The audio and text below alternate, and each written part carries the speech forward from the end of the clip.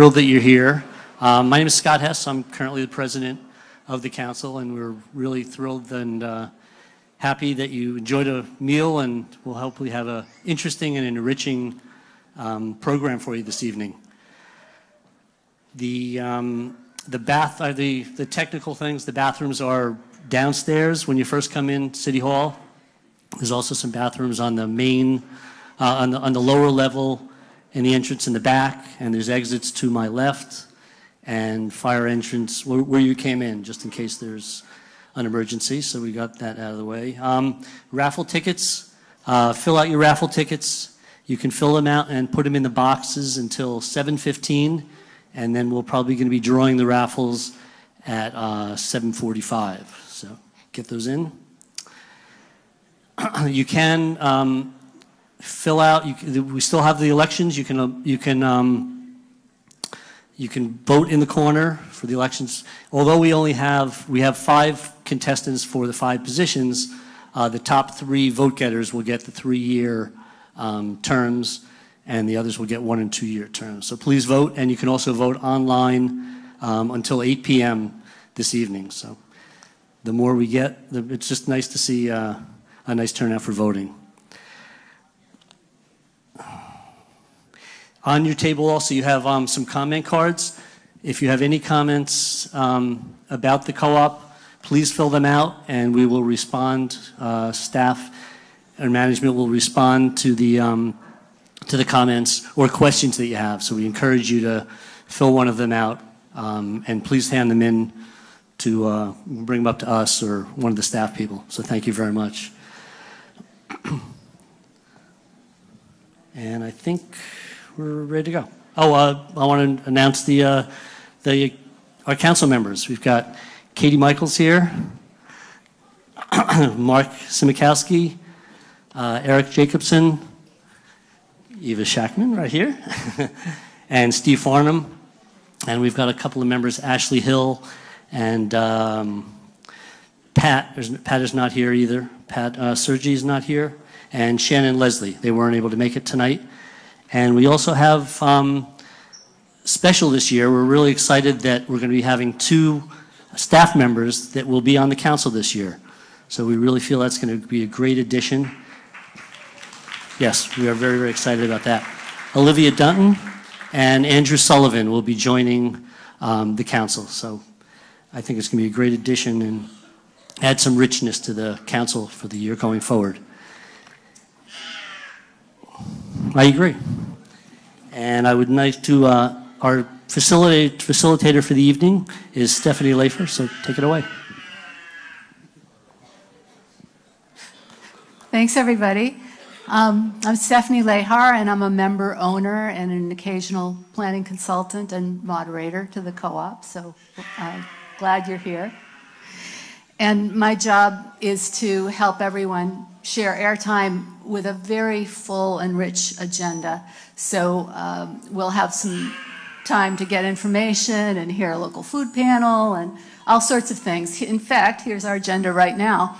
Um, we will start by um, establishing, actually, I'll, I'll establish the quorum before we get going. Uh, I'll introduce the agenda without feedback.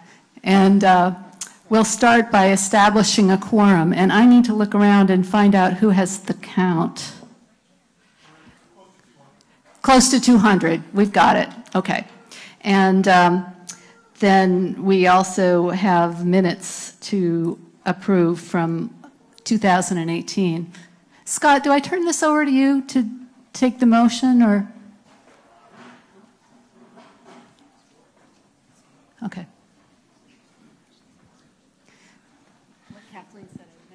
At an angle. Okay. Um, Okay, thank you very much, Jay. And do I have a second? Second to approve the minutes? Okay. Sandal, Sandal Kate is seconds the uh, motion. All those in favor of accepting the minutes from the annual meeting of 2018, please signify by saying yes. Any opposed?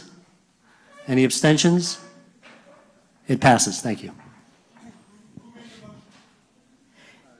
It was Jay. Jay made the motion. All right. So the rest of our agenda, we've already succeeded in doing number one. Um, We'll, we'll hear some um, recognition for employees that have been working at the co-op a long time. And we have a real treat. We have a local producer panel of three women who own or work in wonderful family-owned food businesses who, who supply the co-op. And uh, we'll have the Hunger Mountain Cooperative Community Fund Grant Awards, reports about the business, and uh, a Hunger Mountain Cooperative Community Award. We'll have a question and answer period for all of you. And we also have some people watching uh, on Orca Media and submitting comments online. Uh, and that's it. And a reminder that you have to be present to win the raffles, and you can enter throughout the evening over there. And these comment cards, if you don't get a chance to speak during the public comment period or you have other thoughts or comments that occur to you along the way. So at this point, I'm going to introduce Jess Knapp, the staff rep to the council for the Employee Appreciation Awards.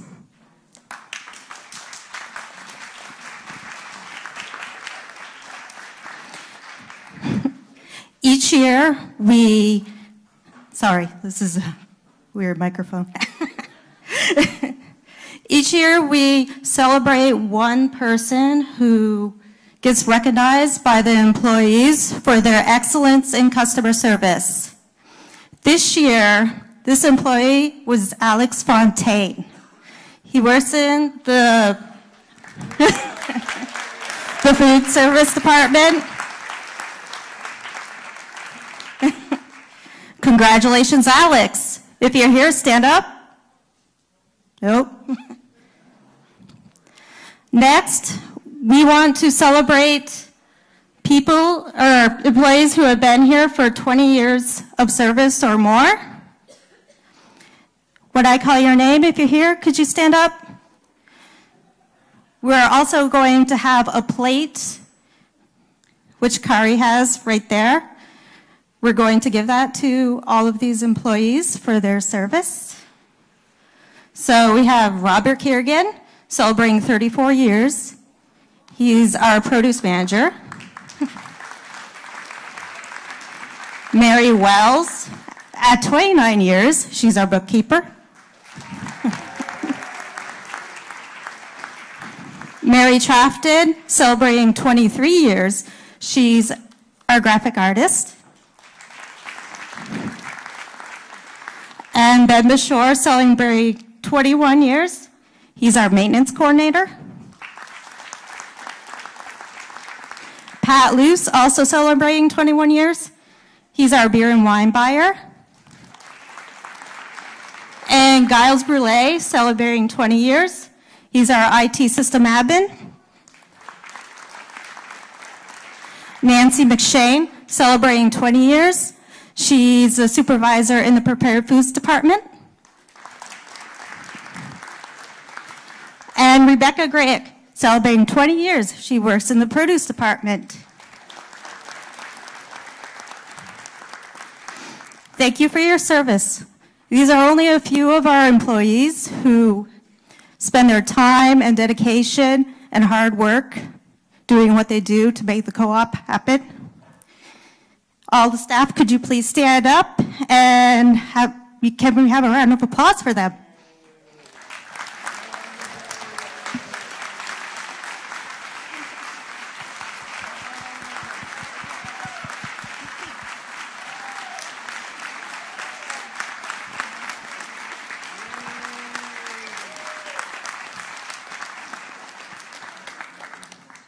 And I, I apologize to Julia Goldstein. She's going to be joining, our, joining the council.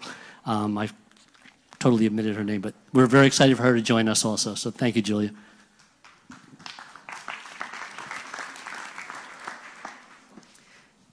Okay, I'd like to invite our panelists for the local foods panel to come up to the front of the room to this table. Claire, great, and uh, Christine and Emily, who Wonderful. And I'm going to have Eva Scheckman from the council introduce the panelists. Thank you, Stephanie. Um, uh, Christine, are you here? Does anyone know Christine Lazura? Love for her to come up to the front. Can everybody hear me okay? Okay. Well, we're going to go ahead, and if she can join us, that's great. So, um, let me introduce Emily Von Trapp. Emily is the third generation to cultivate the land where she is a flower farmer, growing year round blooms for the community of central Vermont. She specializes in winter grown tulips, fragrant lilies, dahlias, and many annual and perennial blooms grown in Waitsfield. Emily first began selling her blooms to the Hunger Mountain Co op when she was 17 years old, a beautiful partnership that is now 23 plus years in the making.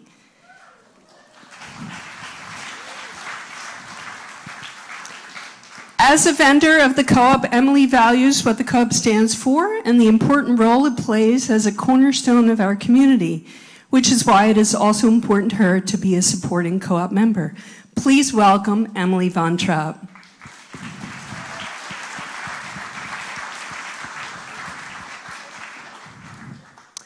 Um, Claire Wheeler, I'm sorry, uh, excuse me.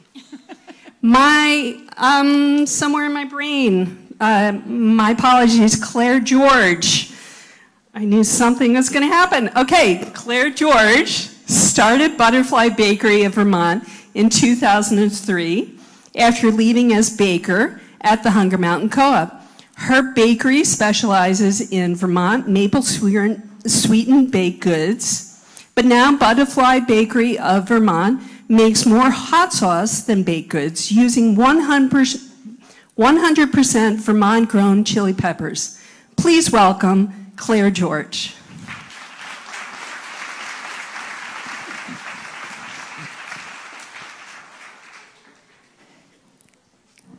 I don't know if Christine will come or not, but I'm going to uh, start us off by asking the two of you some questions and we'll We'll have a conversation about those and we'll use uh, maybe half our time on questions and stories, and then we'll open it up to questions from the rest of you for Emily and Claire and Christine if she is able to make it. So I'm going to start with you, Claire. I wondered if you could just tell us your story briefly and how you came to own and operate Butterfly Bakery. Sure. Um, stand up. Does it work for you to stand up? Sure. How's? Is this better? Because we don't have a raised um, platform. Great. Uh, yeah. So I um, I was a computer science major in college. Um, didn't want to go into that industry. It was right when the tech bubble burst, and so I moved to Vermont. I wanted to start my own food business, didn't know really how to, how to do it, so I got a job at Hunger Mountain Co-op to give myself a little experience. Um, and uh, after, I was about Hunger Mountain Co-op for about a year and a half after I left there, started my bakery, um, doing vegan whole grain baked goods, which we continue to do. But about five years ago, we started making hot sauce, um, and that has 60 plus percent of our business now. We're the number one purchaser of Vermont grown chili peppers in the world. Um, we actually bought uh, th about 35,000 pounds of Vermont chili, grown chili peppers this year. So that was fun. it was fun to process and freeze them. Um, so we also, besides making hot sauce, we, um, we've actually started co-packing. We make other people's products for them as well. Um, and what's really cool is our our customers, our clients are all around the country.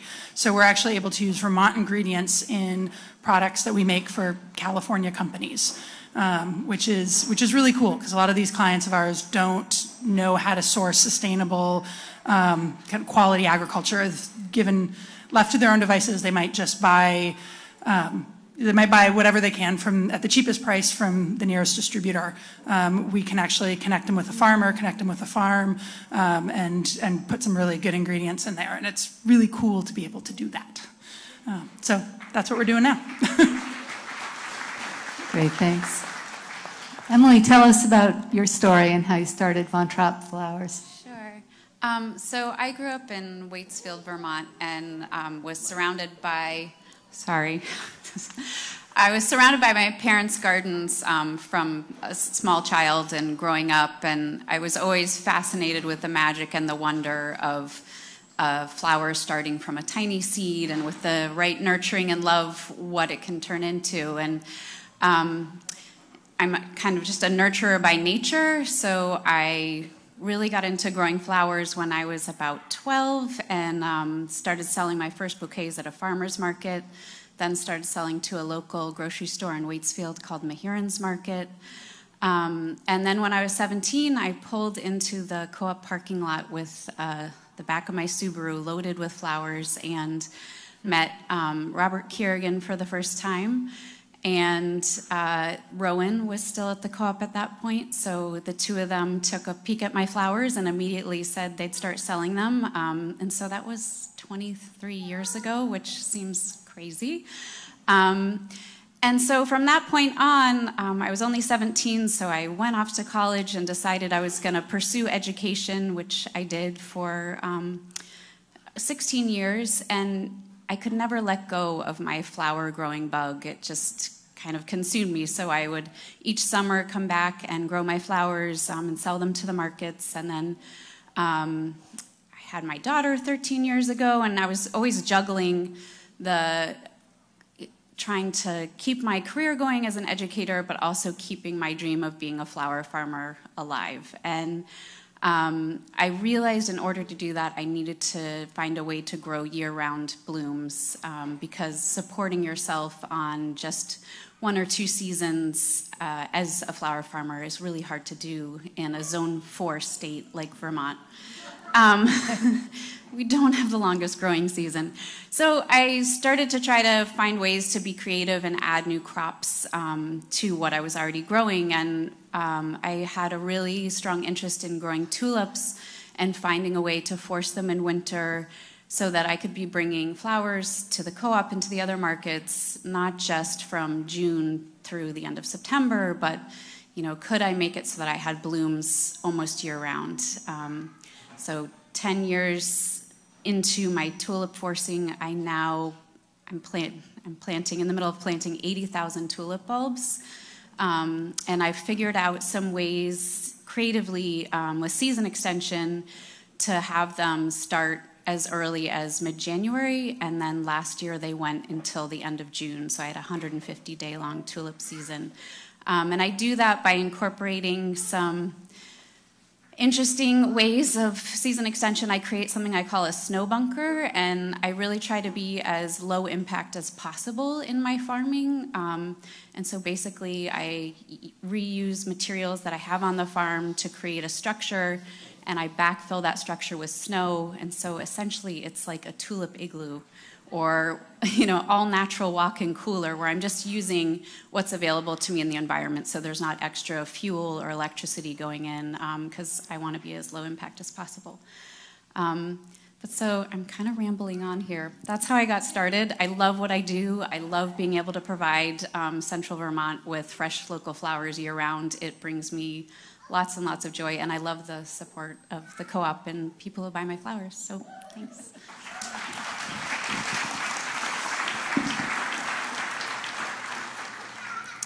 So let's, I, would love to ask you a couple more questions and then bring it to everybody to ask questions. What's one of the more interesting or surprising things you've learned about being in business? And I'll switch to you, Claire, because it's not always a straight line. You start with a plan, right? Yeah, it's um, it's definitely not a straight line. Uh, um, so in the last five years since we started doing hot sauce, we've grown a lot. Um, I spent a long time basically doing the, the same thing day in, day out. It's, as a baker, it's what I enjoy doing. Um, I get great pleasure with doing the same thing day in, day out. Um, but all of a sudden, it's we're not doing the same thing day in, day out. And um, learning to grow as a business has been really interesting because uh, the, we're about six times the size that we were just three years ago. Um, and, and so learning what that means as a business here in Vermont while being really committed to staying true to being a small business. I mean, even if we ever become a big business, we want to stay a small business. Um, we use our hands and things all the time. Um, and it's, it's been very, I don't know, it's, it's a good, it's a learning experience every day. Um, so, you know, we're doing all this, this co-packing. Co-packing can be a really, uh, mechanized business. You can do the same thing over and over and over again. And we're really committed to, like I said, being a small business. So our, our niche is custom co-packing. Um, and we really bring our, our hands into um, making other people's making other people's products be, you know, in I don't know, I can't think of the right way to say, put it, but it's um, it's been really it's been an eye-opening lesson to learn how to make other people's products and how to make them in the most efficient way possible that we can all make money and you know build our businesses, um, but also not to lose the humanity in it.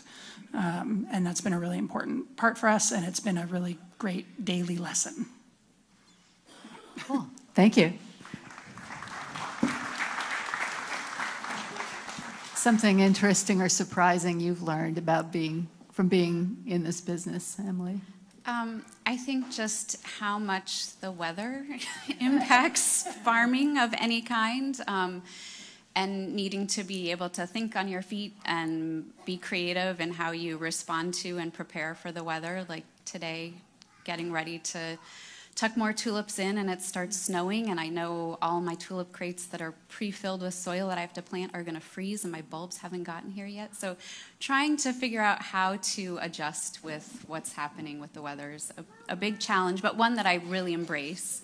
Um, and then just the, you know, trying to make sure that I have things scheduled out the way they're supposed to be. Um, I do a lot of successive plantings. So over the summer months, every um, week I'm planting a new crop of lilies and trying to make sure that I'm timing that so that I don't have a glut of flowers that I can't move. Um, so just trying to figure out and juggle all of that. And I think also um, it's been really wonderful to kind of feel out the flower season year round and um, kind of surprisingly to me, I, I don't know why it surprised me, but people are desperate for flowers in the middle of winter, just like I am.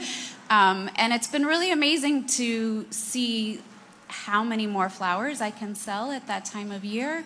Um, it really has become like the foundation of my flower sales is my winter sales. Um, and so how much people really want and need color at that time. And it totally makes sense to me, but it I think the first couple years that I was realizing that, it was a little, you know, pleasantly surprising to see how much people want flowers during that time of year.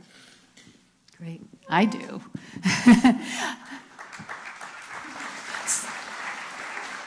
so the last question from me is, I wondered if you could each give us a little of the inside scoop about what it's like working with Vermont co-ops and with Hunger Mountain Co-op in particular, because I don't think we always think about what it's like for our producers to work with our co-op business.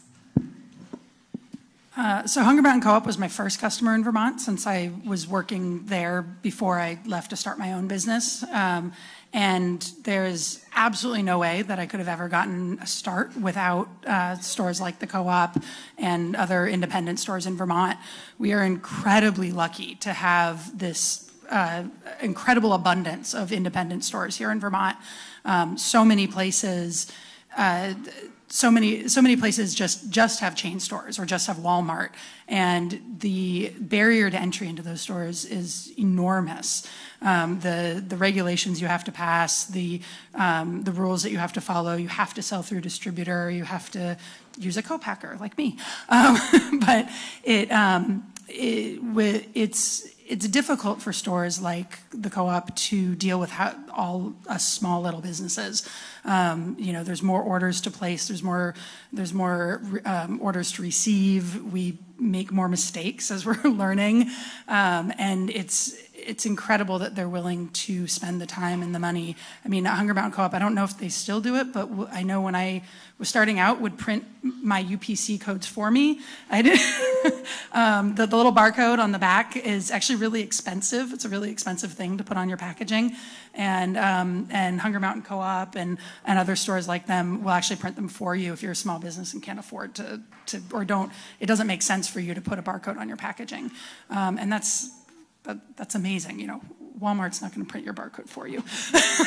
um, so it's I'm immensely grateful, even though um, we are dealing with all different kinds of customers now, it, or all different kinds of stores. Um, I'm incredibly grateful to the small, to the independent stores and the co-ops around here, and they're still who I seek out. If I'm even if I'm going outside of Vermont, the companies that I reach out to, I still reach out to the independent stores. I I actually have a lot of um, I don't, I'm not, I don't object to selling to the chains, but I, I kind of make them approach me because they, they're hard to deal with if I have to approach them. so it's, uh, I'm incredibly grateful. Thank you.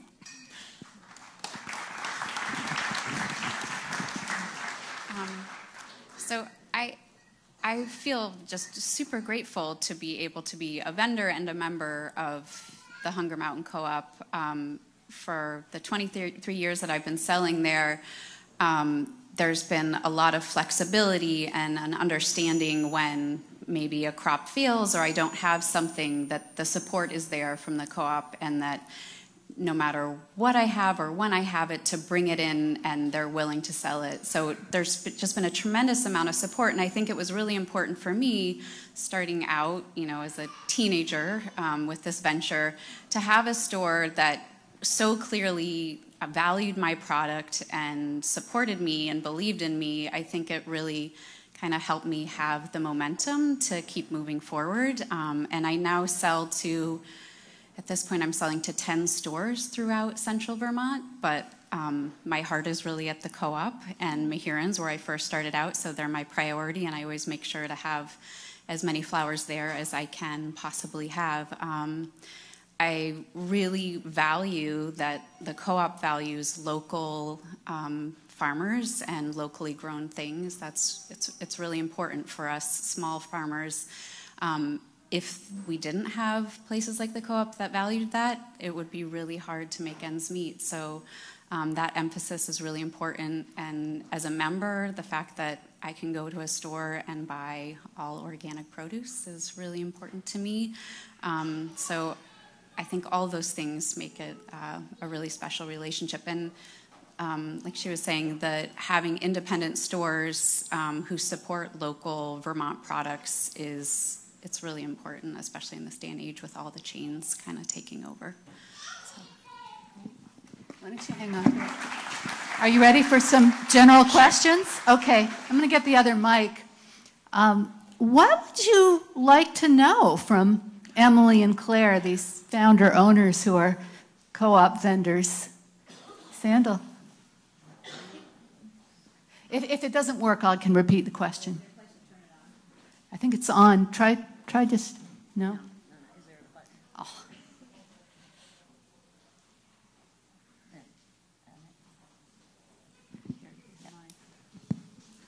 Um, I have a, my name is Sandal Kate. I have a question for Claire. I think I remember you starting out on Barre Street. Is that right? Uh, so actually, Barre Street was our third home. We actually started renting the um, coffee corner in the middle of the night. Uh, that's where we did our baking uh, right after I left the co-op. Then we rented out um, Patrick Giantonio's kitchen. He makes the Patrick's pretzels, the twist, Patrick's twisters. Uh, we rented his kitchen for a couple years, and then uh, when we finally got a, a, space on Barre Street, that was that that place holds a very dear spot in my heart because that was our first home. I remember finding you because on the same platform, which is behind where Fisher Auto is, whatever, um, and the bike place is there now. Um, I had to go to the vacuum cleaner store, yes. which was next door, but it was much more interesting to me that you were there. so I have a question just about how difficult or easy was it for you to expand? And where do you do more of your production now, if that's something you can make public? Yeah, no, it's um, expanding is difficult. Um, so uh, on Barre Street, we had 450 square feet. Um, it was a really tiny little space. Uh, when we started doing the hot sauce, we started renting out space at the Food Venture Center out in Hardwick, uh, and that has been that was unbelievable. We grew an enormous amount, way more than I ever expected in, in the span of about a year. We rented the space there. And um, I wish there were a food venture center for companies my size um, because we are, we have, we're at 3,000 square feet now and we are desperately out of space. Um, we are, one of our, we have, we, up until about a month ago, we had two 40 gallon steam kettles. One of them just broke. Um, so we've fortunately been able to replace it with an 80 gallon steam kettle. Um, but we're making uh, between three and 5,000 bottles of hot sauce a week. Um, and we need more space all the time. And I'm trying to figure out how to do that we we would like to move into our we don't moving is really expensive and difficult and i would love to move into like a 15000 square foot space but um, we can't afford that yet so we're just trying to make it work where we can until we can afford to grow um, i'm not willing to take an investor so that makes it a little bit more difficult that's what we're doing all right thanks other questions I'm going to come over and I'm going to let you use my mic. Hi, this one is for Emily. Emily, transporting all those flowers must be a big job and take a lot of time. And how do you do? You have employees, and how do you how do you do it all? And also your daughter, how does she fit into your life? Um, it's I I call it uh, struggling and juggling.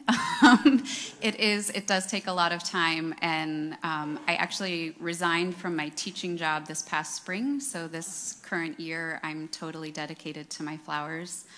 Um, I do do the majority of my deliveries every once in a while. Um, my mom or dad will chime in and help out um, with that. When my daughter was little, um, and up until just a couple years ago, she always came on every delivery with me. She's always there right near me when I'm um, either out in the field working or arranging flowers. Um, so she's very much my little sidekick. Um, but yeah, it's it's been a real juggle until this year. Um, when I was teaching, I would get my daughter up in the morning and we'd go to school.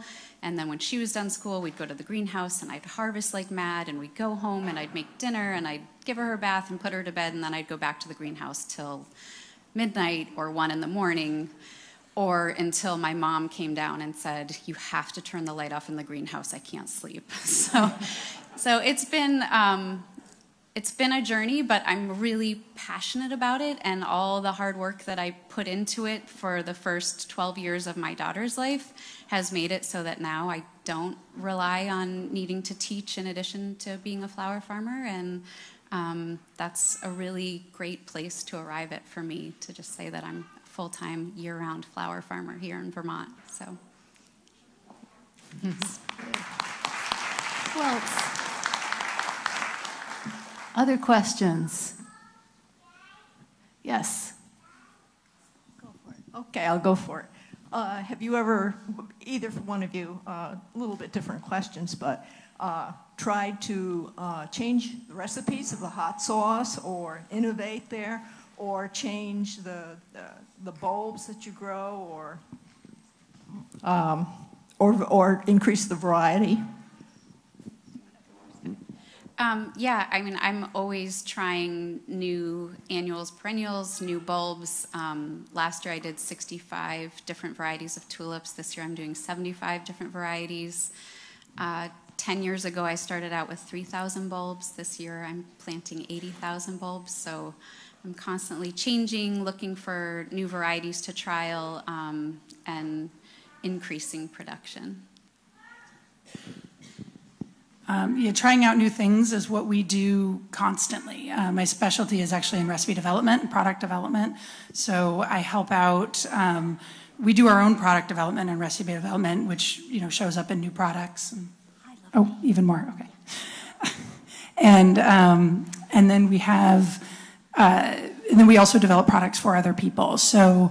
Um, there's a hot sauce tasting room down in Brooklyn called the Heatonist, and they're the ones who um, supply the hot sauce for a show called Hot Ones, um, which we've had a hot sauce on, which is really cool. Um, but we develop products in conjunction with them for um, for usually collaboration sauces. We do uh, uh, independent products, and then we also do non-hot sauce baking. Um, recipe development as well. We're working on a, a, cookie recipe for a company out of the Midwest right now. Um, we're working on another cookie. Well, and then and then we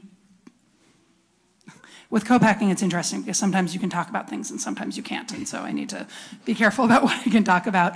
Um, but then there's even products locally that we've helped develop that interestingly we can't talk about because that's the agreement that we made with the uh, with the person but in products actually that are sold at hunger mountain co-op that we help develop which is really fun great others I'm just going to butt in real quick. Yes. Doug, Chef Doug and his crew are getting ready to leave. If we can have a round of applause for the wonderful meal.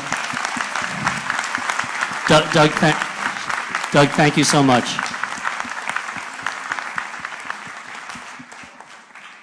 I'm looking around to see if there are other questions for our business founder owners at the front of the room.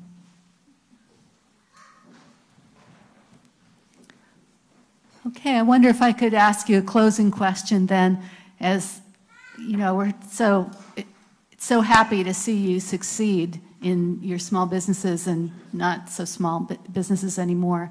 And I wondered from where you sit, what gives you hope for the Vermont farm and food system? Start with Emily, you have the mic. Um, I think what gives me hope is just the, especially now, sorry. I'm really scared of microphones. I don't know why. Um, I think what gives me hope is uh, the the local movement, which obviously in Vermont, it's it's we're rooted in it. You know, it's very much a part of our philosophy. But I'm really seeing over the last couple of years how much more people are valuing um, locally grown flowers versus flowers that are flown in, and the impact that flying flowers in has on our environment, um, and you know the pesticides that are used from on things that are flown in. So the hope is people really appreciating and valuing local ecologically grown blooms um, and where that's going for me in my business. Um, I have an incredible amount of hope in our in our local food system.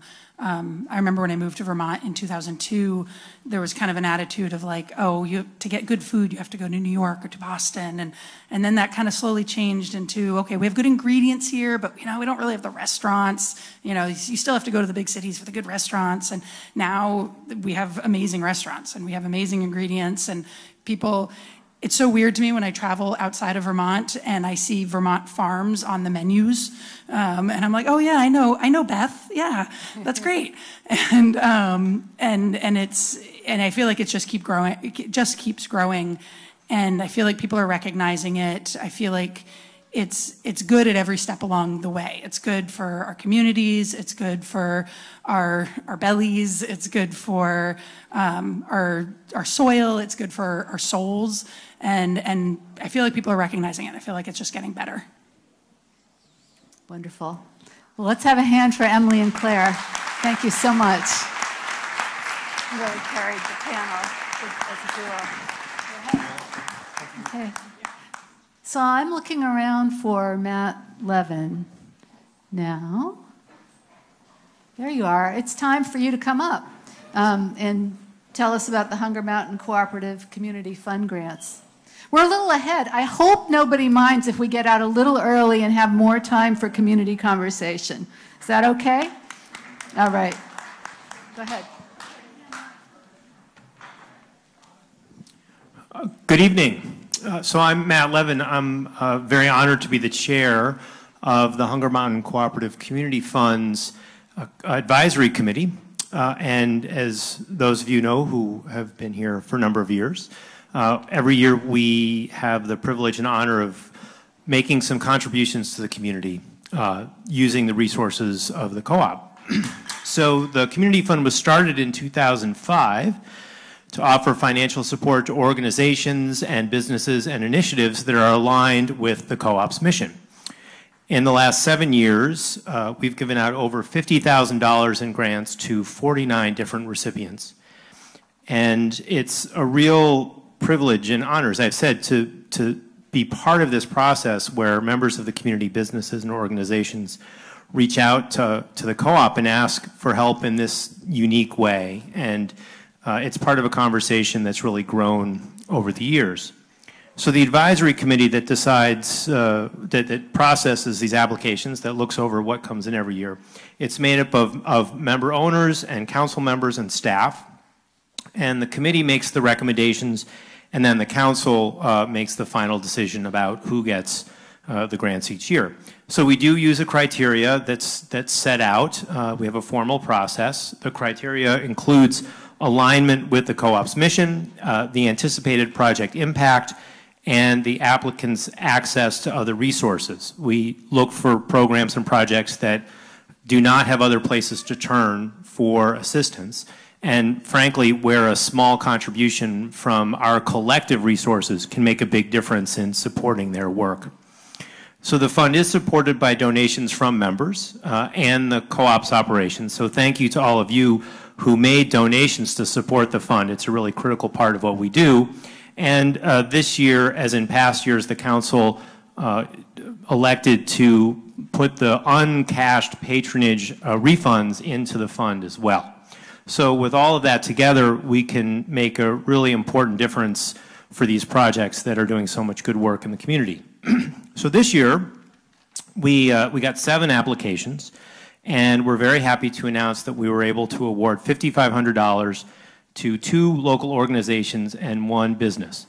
And uh, it, it's not a huge amount of money, but for a lot of these organizations, again, this is what can make the difference in their year-to-year -year operations. It can what can make the difference in helping them recover from an emergency or a, a equipment failure, or for a business, it can help them get started and get a leg up. And I have to say, since we're ahead, Stephanie, I'm going to take a moment. One of our favorite, well, my favorite projects is fat toad caramel. And we had this, and, and we had this big discussion around the table at the, at the committee. Should we be giving money to help a company that makes caramel? Like how, like, is that really?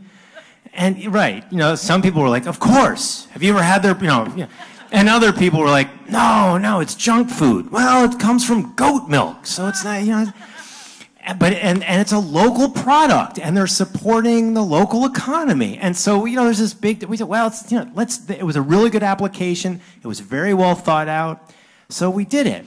And was it the next year that so the, the next year at the fancy food show in new york city martha stewart went to their booth and raved about their karma. We were like yes that's us. We so you know that's not the core of what we do because we also do things like uh, buy trays and, and uh, reusable uh, silverware for uh, Meals on Wheels programs and make sure that projects have the kind of freezer and refrigerator space that they need to be able to make food last so that they can get it out to people in need in the community and help business, help, help small farms build uh, root cellars and, and help community gardens uh, plant trees and, and put in infrastructure. So it's really, it's really good work where, again, a few hundred dollars or a thousand dollars can make a really big difference.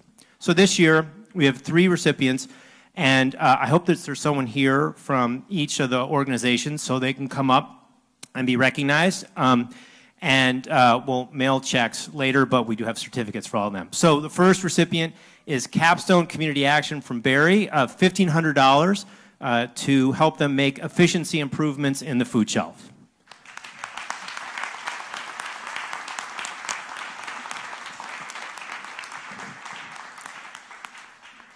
So we'll announce all the folks and then we'll uh, uh, give them their certificates. So second is the Family Center of Washington County in Montpelier, $1,500 to add fruit trees to their community garden and to upgrade their freezer capacity.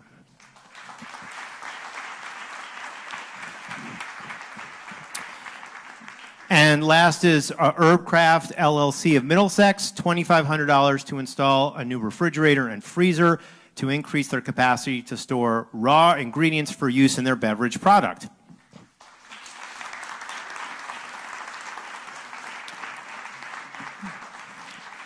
So Kari's giving out the certificates. We're taking pictures of them. Um, so thank you again to all of you for your support of this really great effort that we do as a, as a community. Again, it's a little bit of money from a lot of folks put together. It can have a really good impact and a really lasting impact on the community. Uh, if folks are interested in being part of the review committee, please let Kari know. We're always looking for new folks and spread the word to organizations in the community. Let them know that we're here to help them. We, um, we open the process every year in, um, in July, uh, and so you can look for that next summer. And thanks so much for all of us working together to help the community.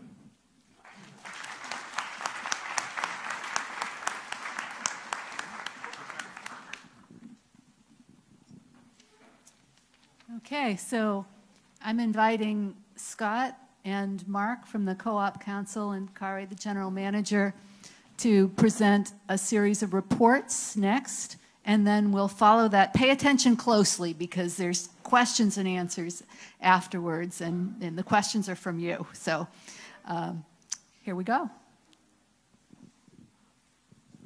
And Katie Michaels is going to present a couple of slides. I'll just go through these real quick. Mark, you're first. Substituting. All right, hello, everybody. I am the uh, treasurer of the, uh, uh, the council, and I have uh, some financial information to share with y'all. So uh, you'll see our net sales for the, uh, for the fiscal year was 24.8 million. Woohoo, we did very good, or very well. Um, you'll see that the, biggest, the biggest part of that pie is the cost of goods sold, that is the amount of money we spend to buy the products to put in the store. Uh, the purple is the employee, employee compensation at 28%. And then uh, the olive colored uh, slice up there is everything else that goes into running the store in terms of heat, repairs, cleaning the parking lot of snow and all that kind of stuff. So you'll see the bulk of the bulk of the expenses there in that in that pie chart. This, I think, is the uh, one of the most important slides that we have here. This is our sales growth uh, from 2010 to 2019. You'll see the that curve that's down in the middle that's sloping down towards zero. That's uh, this this is probably one of the most important slides that we need to pay attention to. Sales growth back in 2010 was 13.3 percent. This past year was a half a percent. Now we talk about sales growth, and, and uh, one of the things is we don't we don't try to get growth for growth's sake. One of the things why we we talk about sales growth is that so that we can do all the things that the co-op is doing in in terms of meeting meeting its ends. And uh, if you look at our impact report, which is on some of the tables on the side of the the uh, side of the side tables here, you'll see that we do have a big effect within the community, both with uh, with supporting local producers, with, uh, with employees, with the compensation, with all the other things that go into, uh, go into the co-op. So um, one thing that this tells us is that now that trend may, may uh, reverse and it may go back up in years to come. It may dip below that, that uh, point. So this has been on the council's radar for the last couple of years because we do see the trend of, of sales growth. Um, so keep that in mind. So uh, we do show profit for the year uh, and, a patronage refund. One thing that you'll notice is that uh, we have 82,000, about 82,000 and a half uh, dollars from earned income. We did have one anomalous line item from reverted equity of $245,000. That was income that, that wasn't earned income. It went from our balance sheet to our profit and loss. Um, and that was because we, we applied uh, some of our rules of the bylaws to members who hadn't paid in their full equity. So it's kind of a one-time, one-time number that shows up on the, on the uh, profit and loss. In any case, we did declare a patronage refund, which, which we do every year if we show profit, and uh, a di- distribution of 27,151. So, uh, so so while this does show profitability, the, the real number of profitability is that 82,495. So out of 24 and whatever million dollars, uh, the total profit after everything else is paid for is, is only $82,000. And again, we're not looking to make huge profits, but that money can go into reinvestment into programs and, and things that the co-op does in order to uh, continue its mission. One thing we talked about over the last two or three years is the senior discount. You'll see that in 2010, the senior discount was uh, just under $30,000. Uh, This past year it was $201,000. So this has grown at six times the rate of the sales growth of the co-op.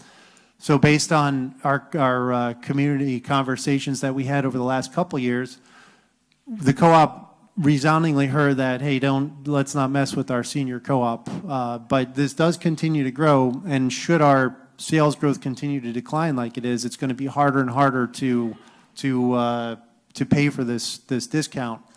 So uh, right now, we do have, uh, for those, for those seniors who are taking a discount but may not necessarily need it based on their financial condition, um, we, we do have a program where you can turn, turn off your senior discount, and then the co-op can then use that, that, those funds or that discount to support other programs like Co-op Cares and, and other, other programs to, uh, to, to help with those who may not be able to afford it.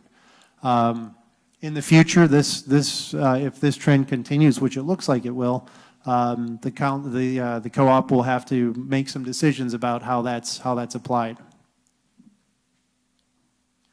So uh, liabilities versus equity, this is the, the money we owe for, uh, versus the, the, the money that we have in hand. Uh, You'll see it's decreasing, that's the right trend. So for every dollar that, uh, that, um, that we have, we owe 76 cents, and that's actually pretty good. Um, The council has been working over the, the last year, year and a half to put ourselves in a good financial position to, to prepare ourselves should our sales growth continue to slow like it is. So uh, our thought is that if we, if we don't owe more than, more money than we're, than we have, we're being we'll be in a good position uh, to take advantage of uh, either a contracting market or any opportunities that might present itself.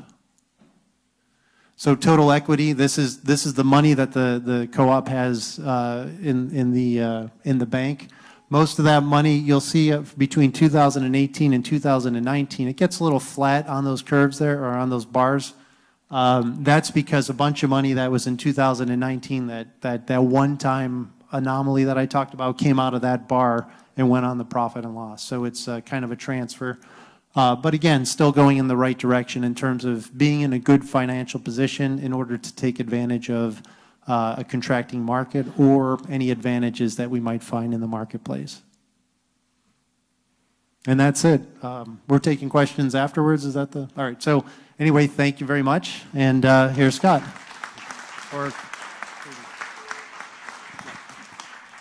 Thank you, Mark.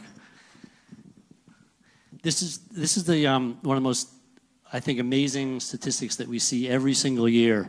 Um, we are up to, as it says, almost 9,500 members for a community of 7,500 in Montpelier, a, a county of only 60,000 people.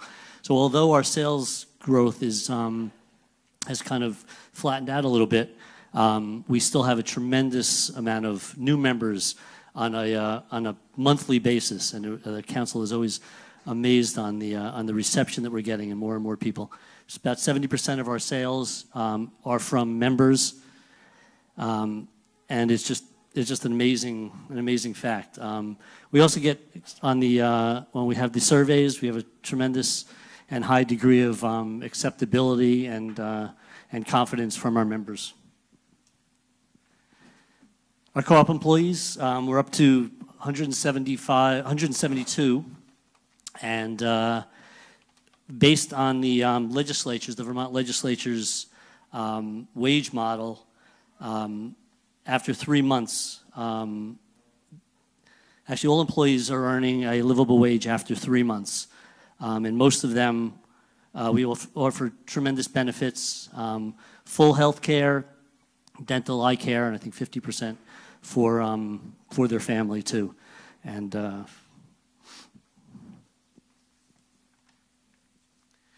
local producers, we, we, Hunger Mountain Co-op, 40% of our sales are local products.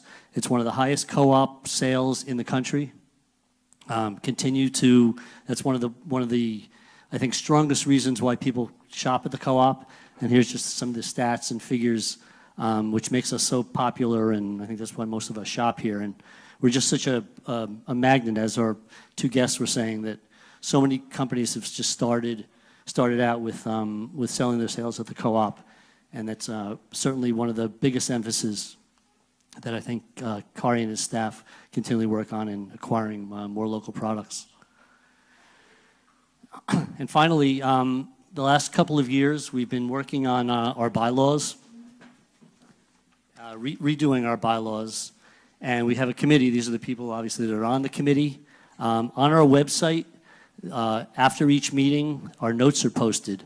Um, we're slowly working on um, on revising them. Some of them are minor issues, some of them are major. Um, we will be wrapping that up in the not too distant future and presenting it to the council. And then after that, there'll be, there'll be numerous forums, informational um, sessions. And then at some point when we're ready, we'll have a special, we'll uh, have a special meeting um, where we will be explaining and, and voting. Actually, the explaining will be done before then. Um, but then we will be presenting to the, uh, to the membership some bylaw changes. So I, I encourage you all to keep an eye out for the forums, uh, the groups that we're going to, um, the, the forums and the sessions that we will be having um, at the co-op. And uh, please read the, uh, the minutes and the notes that are posted on the, uh, on the website. Katie? Hi, everyone. So, in the past year, issues of justice, equity, diversity, and inclusion have been ones that the Council has spent some focused time and attention on, and while acknowledging that we have more to do, um, we had a half day training this past February on unconscious bias. There's a subcommittee of the Council that's been reading and discussing materials related to gender, and now we're in the process of shifting to some readings related to race that the committee's discussing and the full Council is reading. And uh, on the whole, I think we acknowledge that we have more to do in this regard, but that issues of justice and equity and diversity are really important both within our co-op and our broader community, and we hope that we can play both a leadership and a partnership role in this regard. And um, another area that we've been working on in the past year is to educate ourselves about some of the changes that are happening in Montpelier and the communities surrounding us in Montpelier. Um, we invited a series of guests listed above who have spoken about topics like the local food system, food insecurity, demographic trends, the union, and others. Um, and from this learning generated a list of potential strategic initiatives that the co-op could focus on in order to both accomplish our mission and our ends and do the good work we're doing, but in the context of the changes that are going on in our community. And given the financial situation of the co-op, we want to do this um, in ways that either grow sales and or reduce expenses. So we've given a list of potential strategic priorities to the management team to explore and think through, and they're going to report back to the council about those in the months ahead. And in general, um, the council's here to make sure that we're doing what you guys want us to do. And so we want to hear from you. We encourage all members to come to meetings, um, to reach out to any of us individually, and or to join the dinner and discussion event that we hold every spring. We want to hear your opinions. Thanks.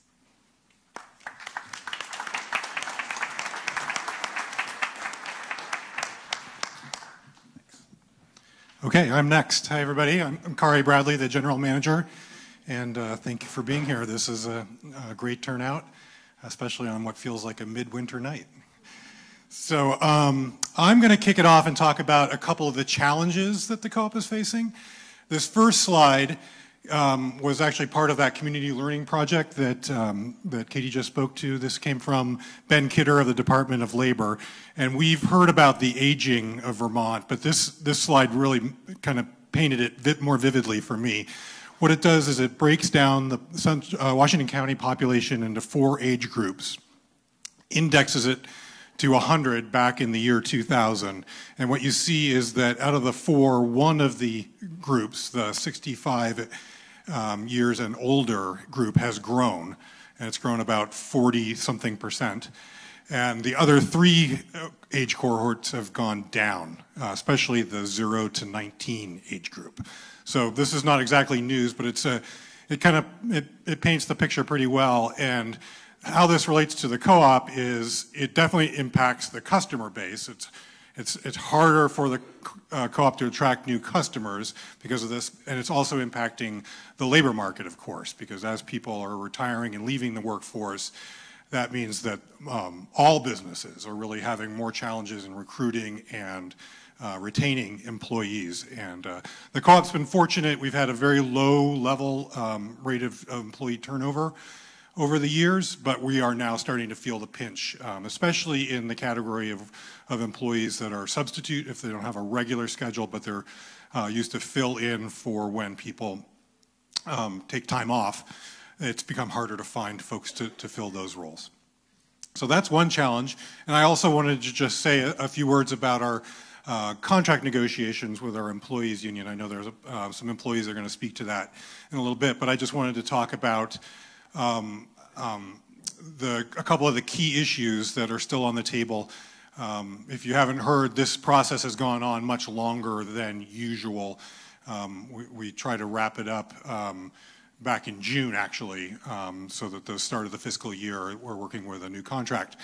And um, uh, but we haven't been able to reach agreement uh, because of two key issues. One is wages.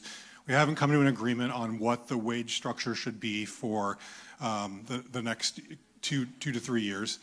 And um, I just want to say that uh, for me and for the leadership of the co-op and for the co-op overall, um, employee compensation is a very important value. You know, there's, there's just no question about that. Um, Scott went through um, some of the components of the compensation program, including the benefits. Um, Mark shared with you that we allocate a large amount of the sales dollars to um, to employee compensation. Um, we are really at the sort of the upper end of what food co-ops do in that regard. And um, so, so you know, we should be, uh, we and we are proud of of, of what we've accomplished. Um, that said, you know, we want to continue to make improvements, and um, the co-op um, has offered average annual increases of between 2.8 and 3.6 percent over the next two to three years in terms of wage increases. That does include staying open for a couple of holidays where we're closed now as part of our proposal. Um, but we feel like this is a responsible um, offer um, in the context of what Mark was sharing in terms of our financial uh, outlook. Um, and you know, we're really trying. We've we've been walking a very fine line for many years in terms of our profitability, um, as Mark shared with you, and uh, we just we need to be responsible in terms of the increases that we can offer. Unions asking for um, more, and, we're just trying to work through that process of coming to an agreement. The other big uh, issue is is based on a proposal from the union about what they call bargaining unit work, and it has to do with the hands-on tasks that a lot of customers will, will experience. So the um, stocking the shelves and cleaning and customer service and uh, preparing food and working the cash registers. Uh, these are the these are the tasks that um, that the, folks in the bargaining unit routinely do. We also have our managers doing those from time to time, and the union has um, proposed that we would place restrictions on the ability of managers to do that work. And uh, you know, we see a lot of benefit for um, having managers be involved with their teams and and being part of that um, the work at hand. Um, and we've offered some compromises in terms of limitations that we could accept, but again, we haven't been able to to reach agreement on that. So. I'm going to um, shift now and to talk a little bit more about the year-end reports and um, really encourage us to think in terms of impact. I was invited to speak at the Morrisville Food Co-op annual meeting a um, couple, couple, three week, weeks ago. They just celebrated two years in, in business as a store, and really my message to them was, you did it, you created a store, it's really hard to do, and excuse me, what that does is it, it, gives them a vehicle to now have impact in their community. And they're starting to do that, and they have the um, capacity to do a lot more. We too, as a co-op, measure our success in terms of the impacts that we're having uh, in a, wide variety of values that, uh, um, that are encapsulated in our mission and our ends. So um, whether it's in terms of community, on the left you see um, our donations and sponsorships have grown over the past uh, five years, We're able to give back about $46,000 last year in donations and sponsorships. On the other hand, uh, workshop attendance in terms of our educational mission has really declined over the past five years. We're getting a lot fewer people turning out for workshops, um, which, which says that we need to do, um, we need to find new opportunities, new ways of, of getting information to people that works for them. Uh, Co-op Cares is our, um, our uh, member discount for low-income members. And when we were having the conversations about member discounts over the past couple years, people said loud and clear, we really think that uh, resources that are available should be should be provided to members who are least able to afford the co-op. So we've done some um, focused, concentrated outreach to uh, local nonprofits and community partners and have been able to increase the number of households, 164 um, households that uh, were involved with Co-op Cares last year. And then the last one is the um, Cooperative Community Fund. Um, as Matt was explaining, uh, part of this fund is an endowment that's here for the community for the long term, and we've been able to build up the assets in that portion um, up to over 82,000 over the last uh, few years. In terms of environmental sustainability, it was sort of a mixed uh, uh report card this last year. Um, this slide is showing um, tons of carbon emitted and uh, we were making steady progress in bringing that number down, and then the number bounced back up this last year. And the, the main reason for that is that we uh, replaced our heating and cooling system. Um, and uh, although the unit is more efficient, it's actually properly sized for the building and it's, it is um, providing the right amount of heating and cooling um, for the space that we have. So we're sort of right sizing and hopefully it'll be more comfortable in the hottest and coolest part of the years, but it was a, somewhat of a step back in terms of energy usage. In terms of uh, waste diversion, it's important that we acknowledge that Co-op's doing a lot. We uh, composted 81 tons of material, uh, organic material last year that's keeping it out of the landfill and, and going to Vermont Compost and Grow Compost to become potting soils and other things. And then um, 141 tons, it's a, estimated um, uh, that we recycled and kept out of the uh, landfill. And I also want to um, point out a couple places where there's been some innovation over the past couple years. Our green team has really led the effort on this alternative recycling using the ARC program over in Barre. If you're not familiar, there's a real, real resource there in terms of recycling materials that aren't part of the single source mainstream recycling stream. Uh, so just as an example from last year, 54 gallons of bottle caps recycled at the co-op and 137 pounds of corks. It's just kind of fascinating. Um, and then um, bag credits. We've seen a, an increase in the number of bag credits and um, you uh, customers bringing credit bags back so we don't have to issue a, a new one. Um, over 226,000 bag credits last year. And then uh, food. Just another area to um, think about the impact that we're having, of course. And uh, in terms of fresh food, we've seen a large um, um, increase in the percentage of and the amount of uh, the fresh categories that we're selling, and, um, which we take to be a marker for, for healthy food. Um, we heard about local, um, you know, roughly 40% uh, of the products that we sell are coming from local, which we define as grown or value added within Vermont or 100 miles of Montpelier. And then uh, obviously organic, certified organic is very important value for the co-op and about 30% of our products come from there. And then we also consider other co-ops to be part of our community. We we want uh, there to be a strong co-op network. And last year we sold a million dollars in products from other co-ops. That's about 4%. Okay, so um, that is the presentation and we're gonna open it up. Okay.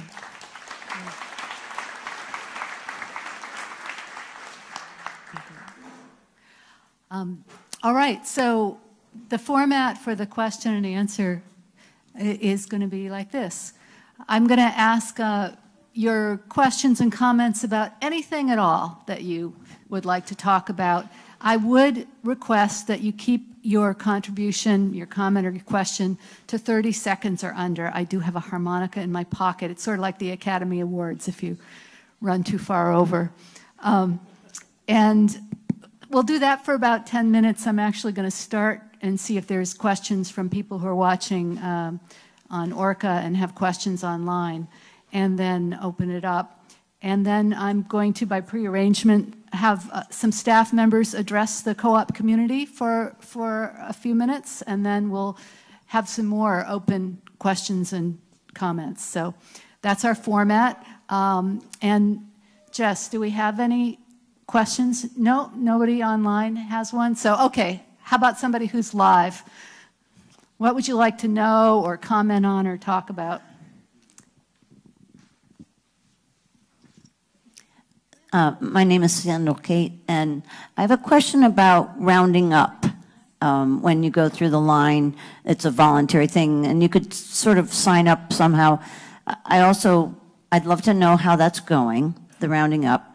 And then if there's some way to maybe promote it a little bit more by having a visible sign on the back of the cash registers or something like that, because sometimes I have to remember to say, oh, sure, you can round up, or the clerk may remember to ask me if I want to round up. But I think that must add up considerably, but I'd love to have an example of maybe one month of rounding up.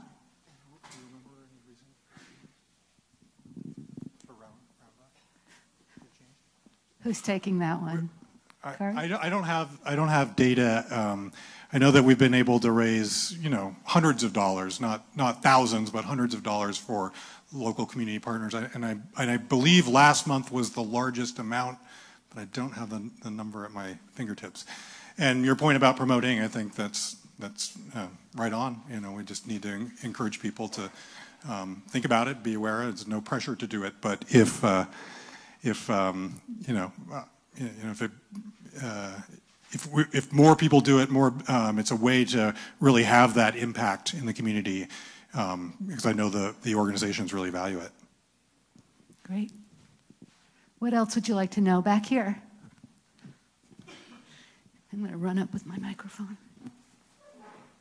I kept forgetting to round up, and they told me they could put something, excuse me, something on my card that they, someone was just allowed to ask me, that I gave the cashier permission to say, do you want to round up?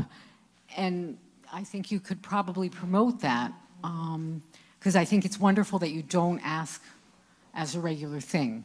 Um, But if you want to be reminded every time you come, you could promote that in the newsletter and just say, you know, let us round up.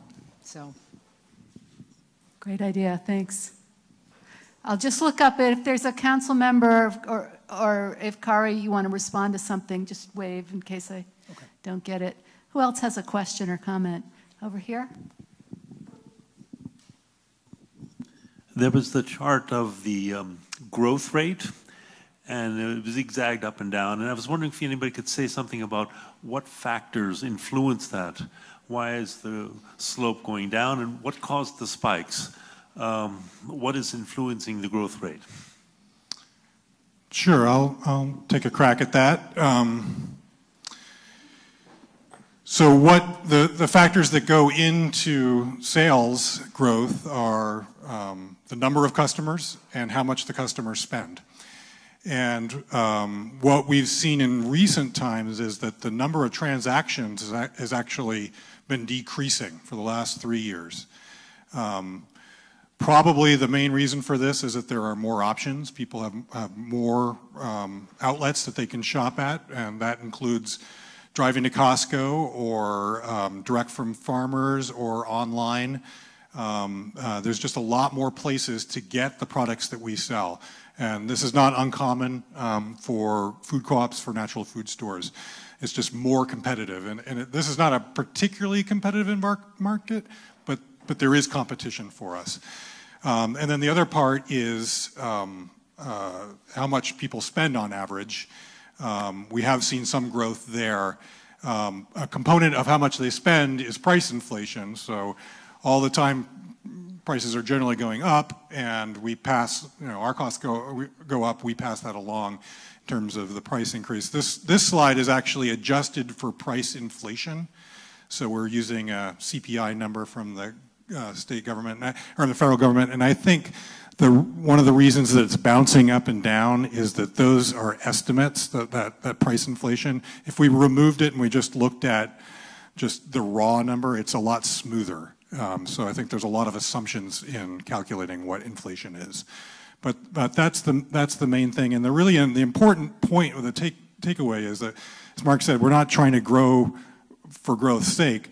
We need to, we want to grow for impact, and we also want to grow so that we can match the, um, with the growth in our expenses. All, all, businesses, all organizations, all expenses are incurring more, more uh, households are incurring more expenses over time, and we just want to keep pace, if nothing else.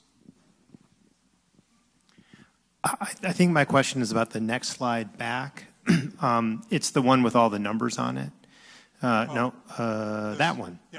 So I'm a little confused about the difference between the bottom two numbers, total patronage refund and refund distributed. Yep.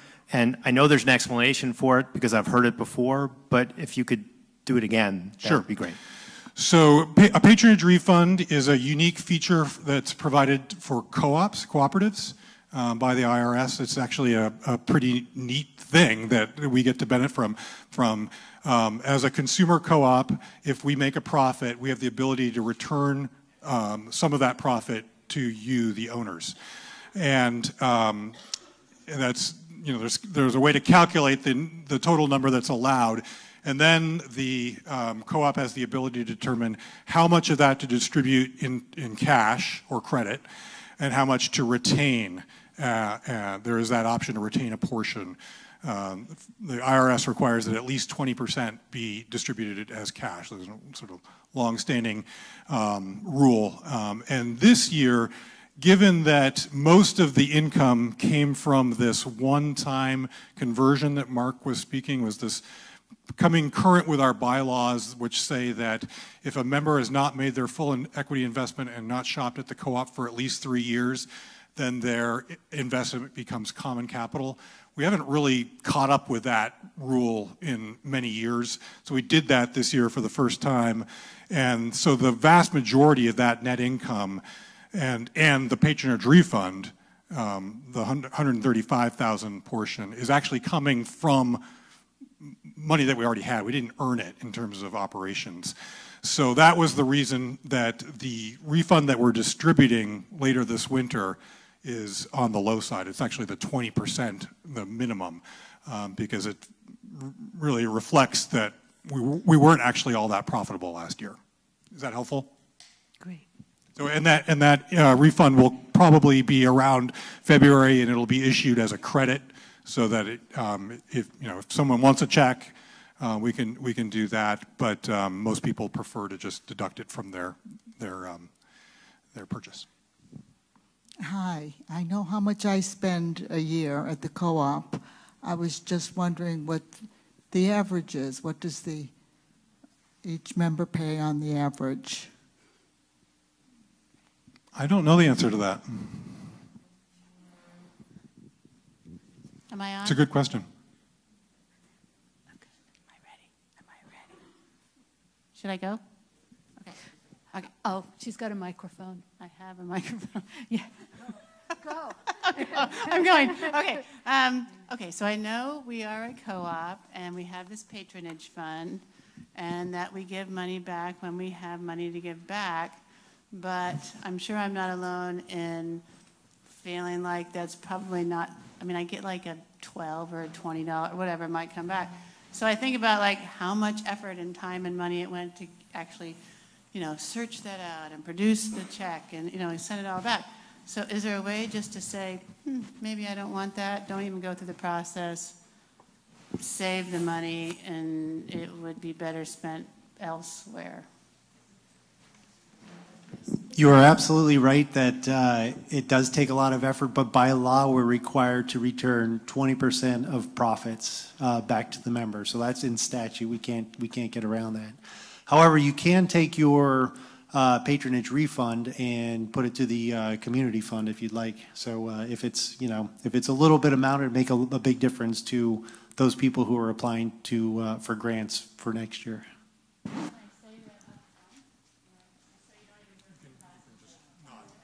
Yeah, if you, if you just simply don't do anything with it, it'll revert back to an unclaimed patronage refund. Yes, it's a lot of work.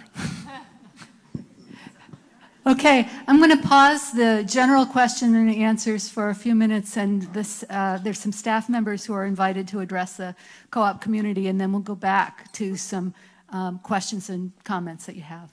Lisa. Thank you. Um, I actually don't feel like I was invited. I kind of put my force here. My name is Lisa Rochelle. I've been a member for 13 years and a staff member for five. First, I am deeply grateful to the staff that have dedicated so many years of their life to our co-op, our union, and our community. I know it isn't easy and you deserve much more than that beautiful plate and an unfair wage proposal. Second, I would like to speak this year about transparency and the lack of it at the co-op. The co-op embraces the concept of open book management, but in our co-op world, that really means we only show you what we want you to know. Where are the pages that say we can't afford to give our workers a fair raise? Asking staff to give up two paid holidays and time with their family in order to pay for their own seven cent raise is shameful to me as a co-op member and unacceptable as a worker. Transparency for salary and the benefit packages of our management, management team is an absolute necessity. Is there a gender pay gap at our cooperative? Without transparency, we just don't know. How do we know the pay gap between our highest paid employee, where there's rumors that includes a car, and the lowest, uh, lowest is the, in the alignment with our members' values and our cooperative principles, while we have so many staff that can't afford to shop where they work. I've spoken in the past at the lack of trust between the staff and management. The co-op even spent $6,000 hiring a company to confirm the mistrust between us with little to no action of change. We still operate under a punitive environment and not a teaching one. I believe transparency is key to rebuilding that trust. Please support the staff. And by the way, the union wage scale is published right here, and it's available to any member who requests it. Transparency is accountability and we need a transparency bylaw. Please add transparency bylaw to the bylaws.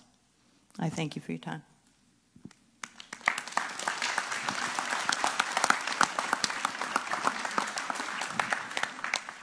Hi, my name is Amelia Saletta Hartman. I am the Chief Steward of UE Local 255 and a member of the negotiating committee.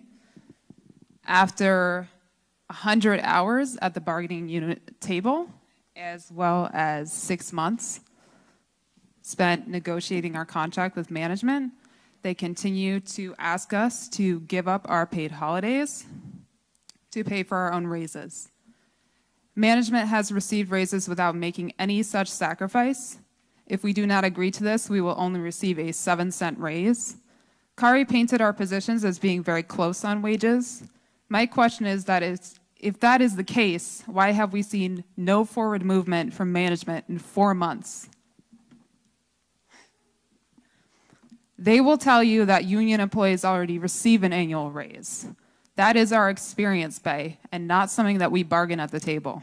We have never bargained that at the table.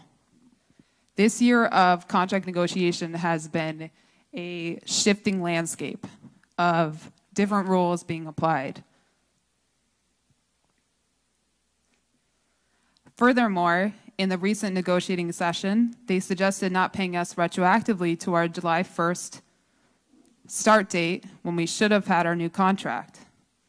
This, much like negotiating a raise separately from the annual experience raise, has always been the practice. Tactics such as these do nothing to build trust between management and the union. Another outstanding issue is management's continued practice of expecting and allowing department managers to regularly perform hours of work normally assigned to union employees. This erodes our bargaining unit by concealing the obvious need more, for more labor hours. Co-op management has continued to refuse to properly invest in its workers by adding these labor hours to department schedules despite an ever-increasing workload. This refusal has led to increased stress, low morale, and injuries, as well as adding to the already heavy workload of department managers. They are being asked to do unpaid overtime, which they said at the bargaining table to us when we questioned them how the managers were performing their own jobs as well as ours. That is an exploitative practice that I don't think lines up with the co-op's values. We are asking for support from the community in our effort to secure a fair contract and a safe and healthy workplace. If anybody wants any more information, we have handouts. We also have buttons if you want to show your support for our staff. Thank you.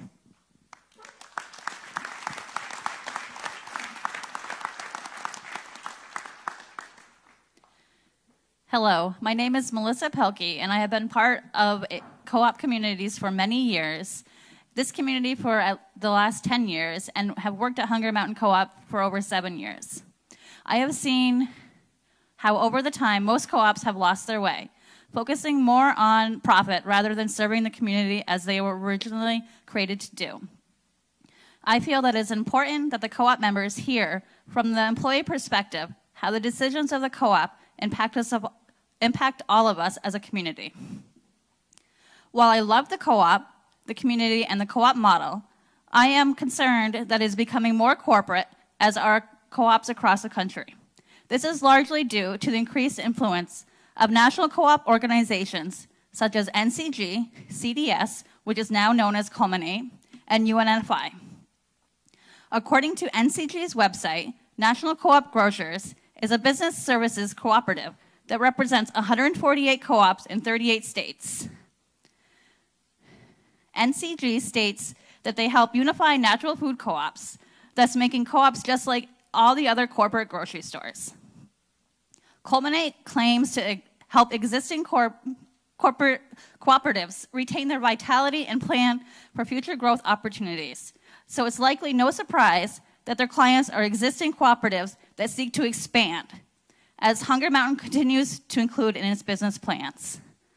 Columinate has also been known to influence co-ops to change their bylaws and remove member owner control, which has already been tried here at Hunger Mountain. One Hunger Mountain manager has worked as a consultant for CDS, which is now known as Columinate. While the co-op does need to remain financially viable in order to be sustainable, it does not need to do so at the cost of its members, employees, and values. United Natural Foods Incorporated is one of the biggest corporations in natural food distribution and is where Hunger Mountain orders most of its food it sells. NCG negotiates contracted rates for NCG member co-ops, which stipulates that UNFI be the primary distributor for co-ops and that they contribute to a joint liability fund. While these types of organizations and corporate ties may increase the buying power, sales, and popularity of co ops, they also erode the autonomy of cooperatives, the focus on supporting local food producers, and the control of members and workers. We need to retain control as a community of members of our co op and ensure that it continues to retain the values it was founded on. Thank you.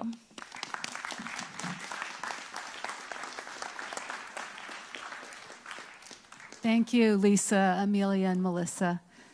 So, do you, um, is there a brief response that you want to take, or should we go to community questions I'll, and I'll answers? Just, let me just say that um, in addition to compensation being important value for the co-op, we also want to obviously provide a, a great workplace. And, you know, it, it's a little painful to hear that, that people don't, you know, enjoy the workplace, don't value the workplace as much as we'd like them to. And obviously that's a challenge that we need to work on. Okay, sorry, I didn't didn't mean to mischaracterize. Okay, do you want to respond to me? Yeah, absolutely. We value our workplace. We just believe that we deserve equitable raises, just as management has received, and that we don't deserve to have to fight for that for six months now with no movement from management.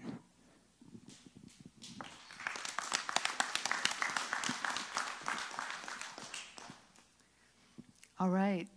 I'm going to open it up for this discussion or anything else that people want to talk about for a little while longer. Who'd like to weigh in? Back there.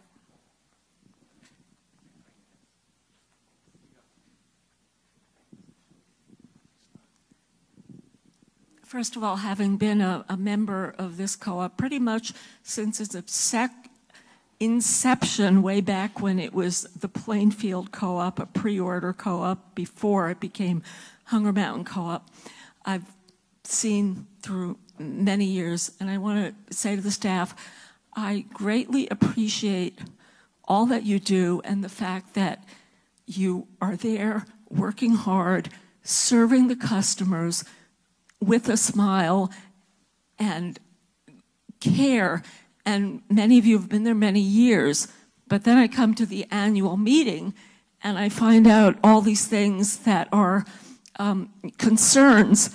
Um, and as a low income earner who has never averaged a livable wage in 50 years of working, I really empathize with you.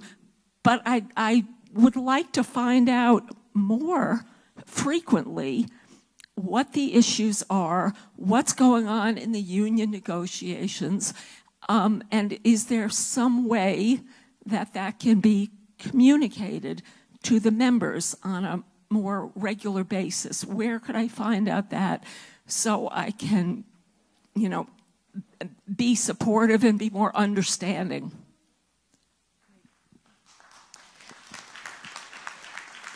And I see there's some offering of flyers, and I also wanted to say that um, members of the staff and the council be, will be around for a few minutes after. Um, and if there's a desire to continue the conversation, we may figure out ways to do that. So write it on your comment cards as well. Um, other comments and questions? Elizabeth. Hi, I'm Elizabeth Jesdale, staff member and co-op member. Um, I just wanted to answer your question. Um, any of us staff can answer those questions to you um, at work. We do have a free speech clause in our union contract that we fought very hard to maintain two years ago, and we were successful in maintaining that. So we are allowed to talk to you um, about any topic, provided that we're not um, uh, representing pretending to represent the co-op or claiming to represent the, the co-ops. So, so you can talk to us. Great, thanks. All right. This, this is more like a comment. Um, I just wanted to find out what is the real reason why every time I go into the counter that I am being asked if, are you Rolanda? And I always wanted to joke and say, yeah, because I haven't changed my name lately. So um, I just wanted to know why I am being asked every time. And if that's the case, um, why don't we just print like a card with our number and with our picture in the back? Um, so I guess that's my comment for tonight. Thank you. All right. Does uh, anyone want to take that? Okay. Hi, I'm Andrea Mills. I work in the front end. We always try to um, verify the customers' names. We have so many customers. We have a lot of new staff members. So you can give us your number, and we just want to verify your name so that in case we made a wrong entry, it doesn't get credited to someone else's account. Does that make sense?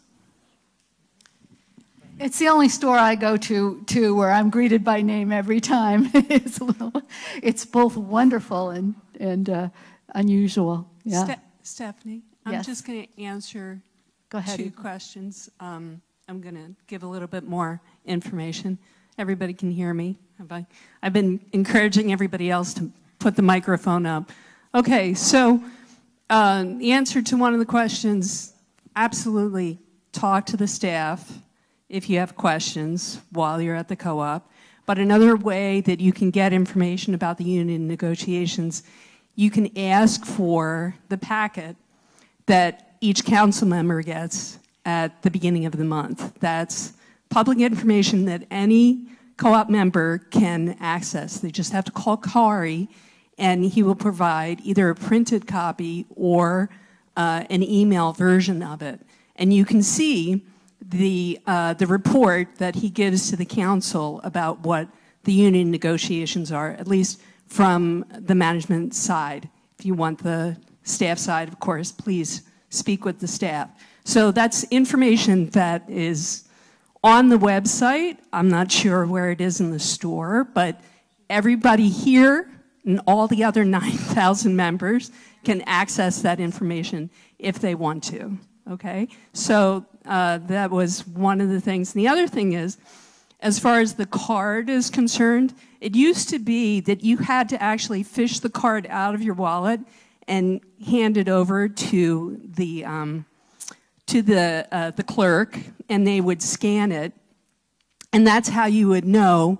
Uh, that's how the membership was verified, and it switched from that to asking the member what their number was, so that they didn't have to take the card out of their wallet. So in either case, it's awkward. Um, I'm not sure which is less awkward, but um, at some point, some maybe in the past five years, there was a changeover from that. So I hope that gives you a little bit more of a sense of um, a little bit more of the history of the uh, membership ID. Um, thank you. Okay, I'm just going to take a few more. Uh, we have an online, oh, I think I have a, have a question about. Uh, yeah, I was wondering um, that everything you sell is organic, or are there some things that aren't organic in the store? Um, actually, no. Um, uh, only 30% of our sales came from certified organic products last year. So a lot of natural, a lot of local, a lot of fresh, um, and a good portion of it is organic. Can you give Jess the microphone for the online question, and then I'll go to Rick. Uh, this is more of a comment. I think it was regarding uh, the negotiations. The co-op could allow letters from members and the staff in its newsletter and could also sponsor an online forum for member discussions about various issues. Great, thank you. Um, Rick Barstow, and my question is concerning the senior member discount. And I was wondering if there was a way that wouldn't be too complicated to say, well, whether having 6% or 0%, if there's some way, um, 3 or 4% would, would be better for me, but going down to 0% um, discount would be a little more burdensome. I was wondering some way to, to make it flexible. Thoughts from the council or Kari? I'm, I'm not. I'm not sure, but that's an interesting idea. We um, there's been versions of that that were knocked around in our discussions, but in terms of allowing a, a member to just pick the, the level that they're going to stick with for a period of time, um, it, obviously in theory that's that's great. We just we would have to figure out how to do it technically. So thank you for the suggestion. Okay. Um, I've got a uh, sort of a practical question. Um, several years ago, uh, you said that it was less expensive for the co-op if we use debit cards rather than credit cards, and I was wondering if that's still the case.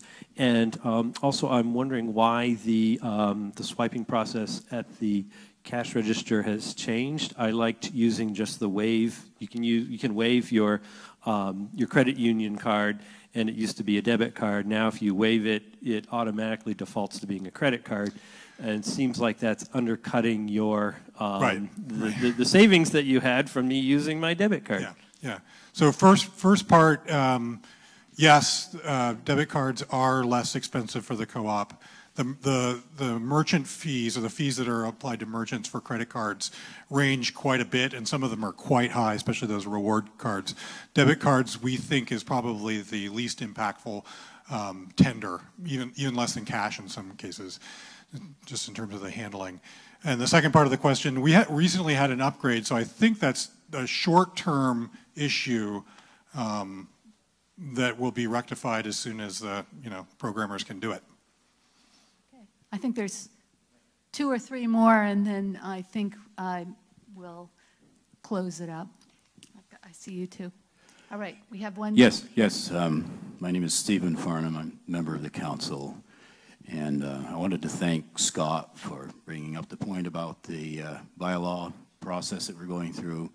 And I just wanted to um, emphasize that um, it's entirely an open process. All of our committee meetings are open if anybody'd like to attend. And um, we do have um, information sessions from time to time in which we invite you all to come and hear about the progress, make comments. You can get in touch with anybody who's on that committee if you have any thoughts you'd like to share.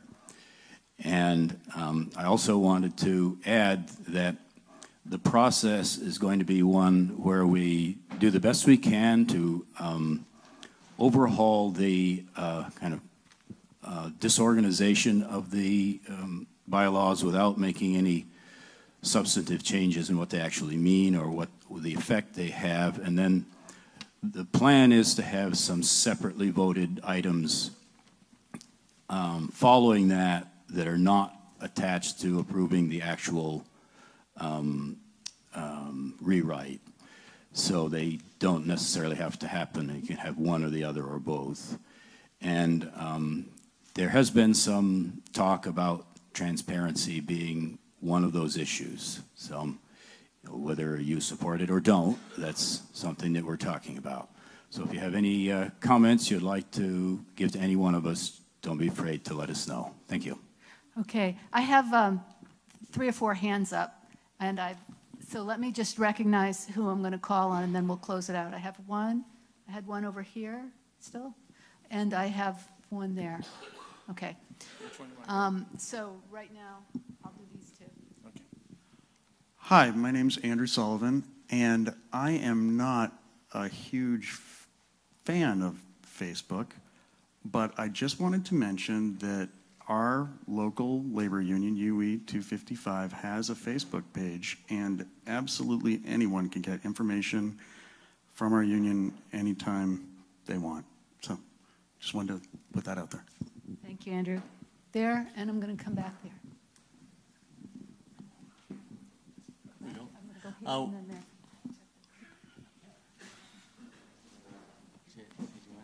Do I have somebody else? Uh, With respect to the uh, decrease in the growth rate, um, there's a new business on Barre Street that's getting a lot of traffic. And is there any, and uh, I'm assuming a lot of that traffic doesn't even know the co-op exists, you know, a few feet away.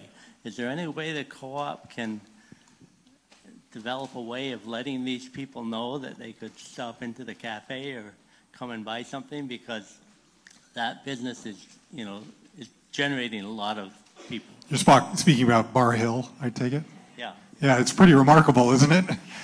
Yeah, right place, right time for that business. Um, uh, yes, I'm sure there are ways we we um, we need to talk with them and sort of um, try some things and, and see what can be done. Hello, my name is Cindy McLeod, and while I work for the co-op, I'm not speaking as a union member, I'm speaking as a member. Um, I originally got involved with the co-op back in 1977 when it was the Plainfield Co-op, and I have been a long-term member, raised my kids there, and I'm a great advocate of the co-op.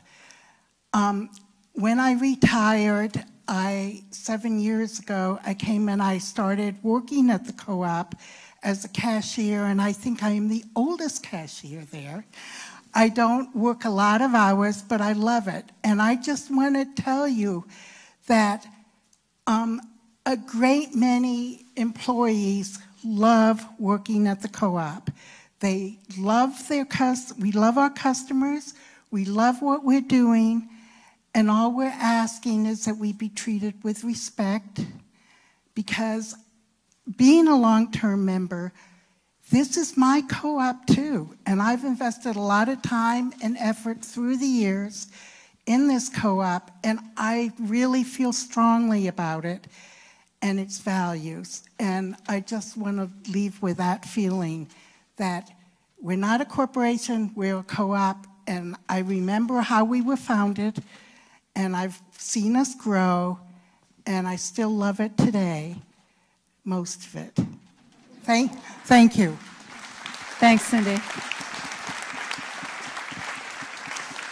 This is the last comment. I do see other hands up. I see a number of other hands up, but I'm going to ask you to use your comment cards and hang around with us afterwards for a few minutes after this comment, because I'm going to pass it on after this so we can close the meeting. Hi, I'm Elizabeth Jesdale, co-op member 8295, as all my cashiers know. Um, this comment is actually very related to those of you that have your hands up and are not being allowed to speak. This right here in this room is the highest decision-making body of this cooperative, period. Not the council, not the general manager, not me. This body, this annual meeting, this is your co-op. 15 minutes is not enough. This 15 minutes is not enough to have a discussion about any of the points that anybody has brought up in this room. Those of you that have your hands up are not going to have the opportunity to speak. I am, and I'm grateful for that. And I apologize to those of you who are not having the opportunity to speak. 15 minutes is not acceptable, and this is your co-op. Don't accept 15 minutes. We've got almost 10,000 members of this co-op. A little 30 seconds, not, not okay. That's not democracy. So um, I'm being asked to wrap it up, so thank you. Okay. Thanks, Elizabeth. I appreciate that. And we, 35 minutes into this conversation, um, which uh, is still not enough for this group, but I appreciate people hanging on and uh, we're, we're here to continue the conversation for a while afterwards. So we do have a couple of more things to wrap up, and uh, I'm going to ask Eric Jacobson to come and present the Hunger Mountain Cooperative Community Award this year. Thank you very much. I'm Eric Jacobson. I've been on the board now two years working on an ethics committee, which we haven't had much time to talk about tonight. But one of the ideas we had uh, on the council is to develop a, an award, a Hunger Mountain Co-op Award, to um, celebrate individual contributions that are trying to turn the tide on some issues that are dear uh, to us or uh, have made a lifelong contribution to this community.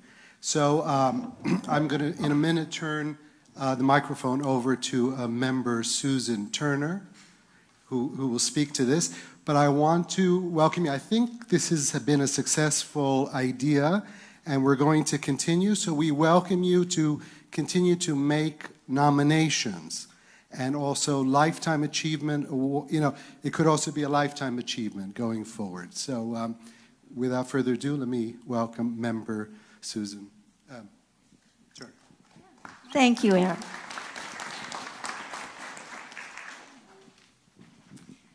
Well, the first recipient of the Hunger Mountain Co-op Community Award not only reflects the co-op's goals, but has taken an idea and built it into an organization that benefits many of the communities here in central Vermont.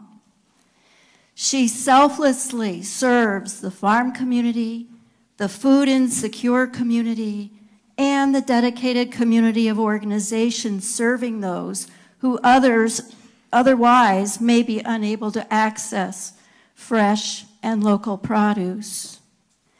As a volunteer, I can attest to the fact that she also serves a community of volunteers who care deeply, and we appreciate her knowledge and leadership in helping us to contribute to the well-being of our neighbors.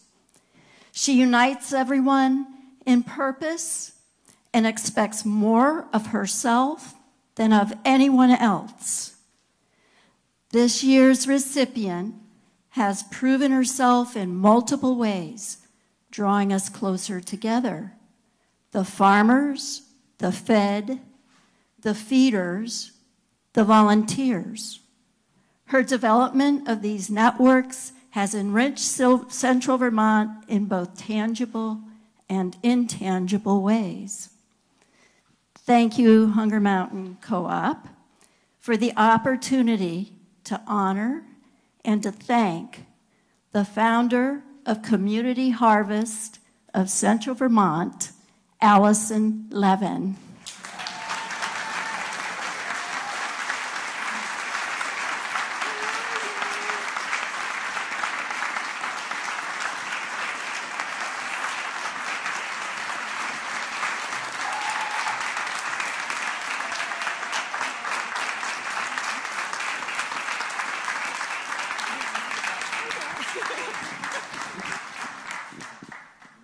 Well, thank you, Kari, and thank you, Susie, um, so much.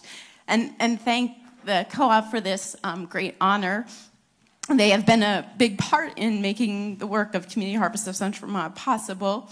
Uh, sorry, a little teary. Um, and um, their their partnership has been just one piece of the puzzle that has made this work possible um, in here in Central Vermont, as, as Susie indicated. Um, our work with many farmers and their generosity and sharing their bounty with not just um, the markets that they sell to, but also the community um, has been what makes this work possible. And I'm just the a person helping to drive that mission, but it really takes all of the community together to build this this effort and and recover the food that would otherwise go to waste in the community.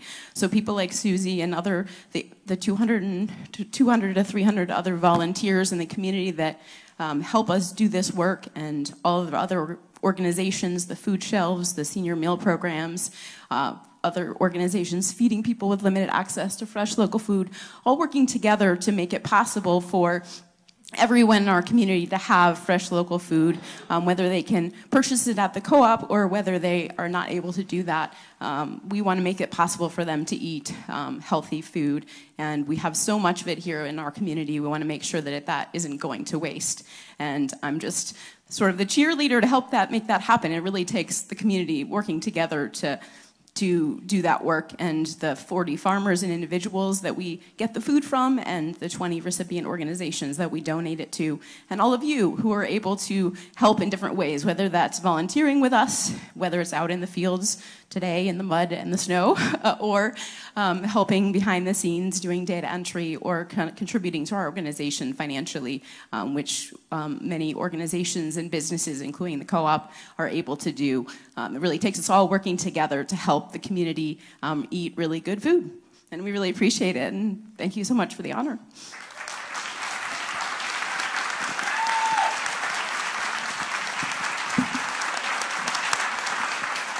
Thank you. Thank you.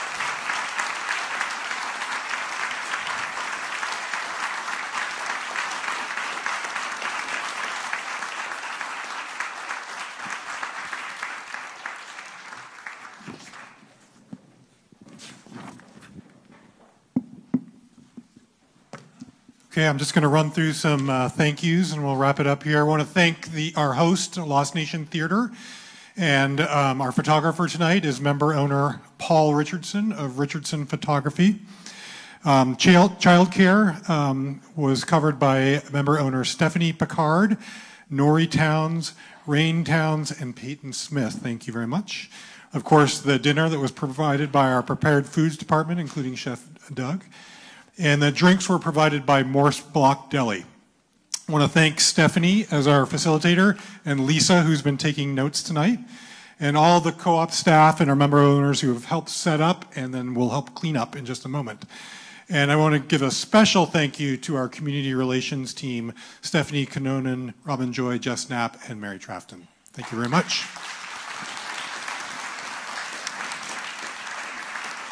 And on this slide, there are a number of um, businesses and organizations that uh, volunteered or, or um, provided raffles and that sort of thing. Can I just thank Pizzazz Pottery for making the plates, and our award artist, Matt Seaschultz.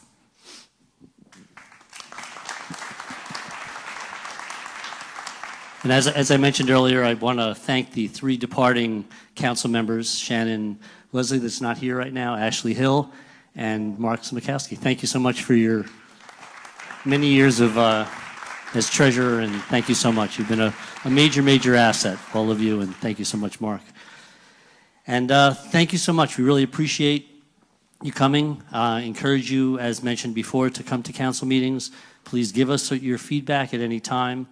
Our numbers and uh, emails are listed and uh, placed in the beginning uh, as you leave um, up on the bulletin board. And uh, thank you so much for coming. And uh, if I have a motion to adjourn, oh, raffles. Ah, the ra- Paul. Thank you. Okay. I apologize. Motion to adjourn soon.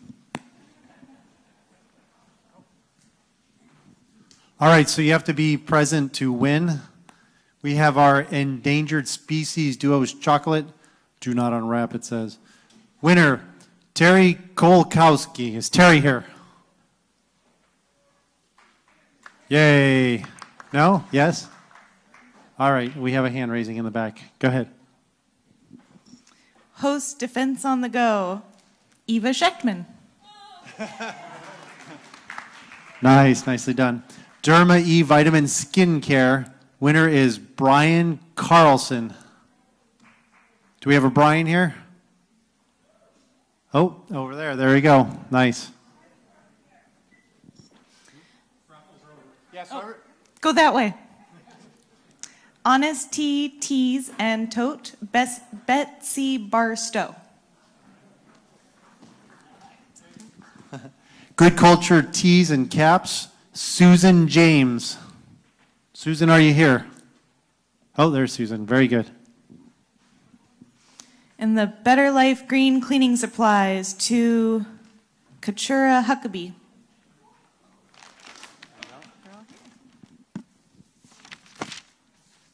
Doing really well here. Primal Kitchen Hoodies and Goodies. Susan Swanson. Susan, are you here? Oh, there you go. T-shirt grab bag, Walter Liggett.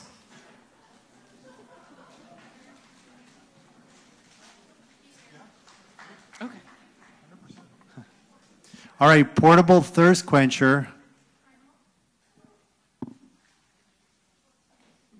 Rima Carlson. Rima Carlson.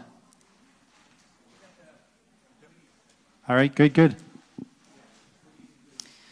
GT's kombucha bundle, Bob Gross.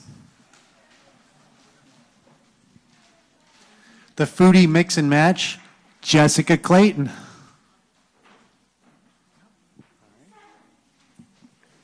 And the wine party to Elizabeth Matai. Oh. All right, nicely done. That was 100% here. Way to stick it into the end, everybody. Okay. One last reminder, um, starting tomorrow is Member Appreciation Weekend at the Co-op through Sunday. 5% off for members. We also featuring a dozen items in our fa- fall case lot sale, so lots of savings. And order your turkeys and pies by Monday, November 18th. Scott? Now, do I have a motion to adjourn this 2019 annual meeting? Okay, your name? Susie Swanson, the winner. And a second, Jay. Okay. All those in favor of adjourning the uh, annual meeting this year, please signal by saying aye. Any opposed? Any abstentions? Have a great evening and uh, get home safe. Thank you so much, everybody.